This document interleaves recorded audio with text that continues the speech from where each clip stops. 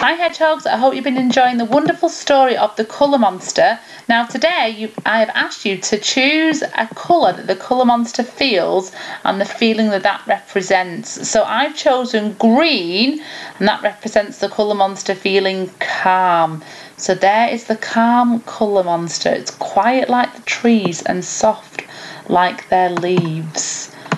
So I'm going to make my colour monster green, which is one of my favourite colours because it reminds me of nature and all the beautiful different greens that you can find in nature. There's so many different lovely shades of green. And I feel calm like the colour monster so when I am outside walking. So I feel calm when I walk outside. So that's going to be my sentence. I feel calm when I walk outside.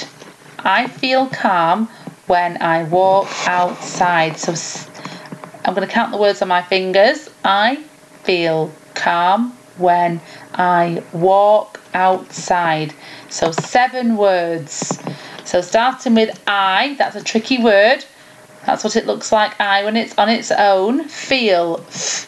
E-O, feel. Calm, that's a tricky word. Calm. When, hmm, our tricky word list. When. I feel calm when I walk outside.